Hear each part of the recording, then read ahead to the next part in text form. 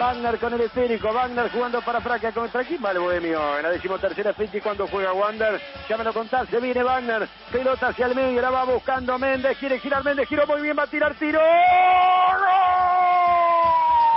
¡Gol!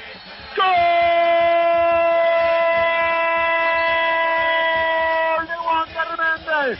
Siempre Méndez, siempre el salteño, viene las insignias solo, solito, para aparecer en el marcador, pelota que vino hacia el medio, el esférico para Mauro Méndez en el punto penal, espalda hacia el arco, aguantó la marca, aguantó la pelota y giró hacia la derecha, sacó el sablazo de derecha, la pelota dio en el vertical izquierdo media altura y se metió en el arco de Morales, empata el bohemio, para soñar, para ilusionarse, ahora está en 1-1, apareció el salteño Méndez. En el peor momento de Wanderers, cuando Lanús se había puesto en ventaja, cuando moría el partido y parecía que se iba con la victoria del equipo argentino, llega este tanto de un futbolista señalado, que realmente le ha dado muchas alegrías a lo largo de esta temporada a Wanderers. Ingresa desde el banco y generalmente convierte. No es para cualquiera, no es fácil entrar tan rápido en partido. Toda Dele, encaró al lateral, se lo sacó de arriba, remate fuerte contra el palo, nada que hacer para el guardameta.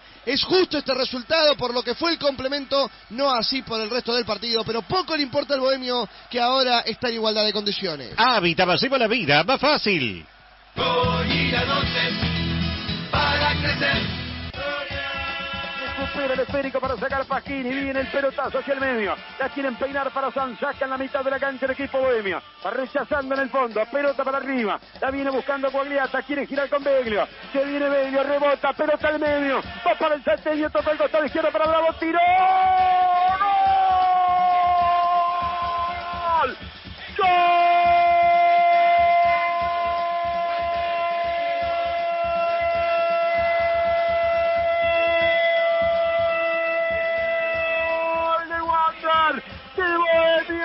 ¡Del chileno! ¡Del chileno bravo! La pelota vino desde la derecha. Ya fueron a pelear con el alma al borde del área mayor. La peleó Belio. Peleó la pelota el número 16. Ya fue a pelear después el salteño Méndez. Decisivo. Trascendente el número 9. Tocó la pelota por la izquierda para el chileno Bravo. Y como venía, se perfiló. Abrió el pie derecho. Metió la pelota con Rosa prácticamente en el ángulo superior derecho. De la izquierda del área al ángulo derecho.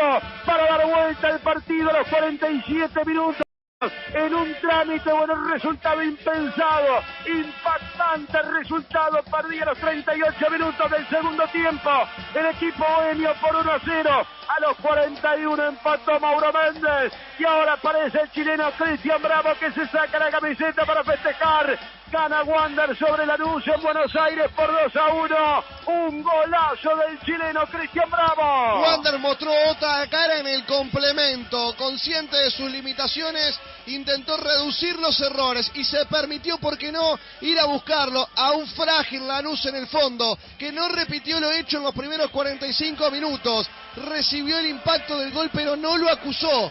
Empató y ahora lo da vuelta. Y es hasta merecido por lo hecho en la segunda parte. Un equipo de Wanderers que se permitió ir a buscarlo y con sus armas se lleva el premio mayor. Hábitat, hacemos la vida más fácil.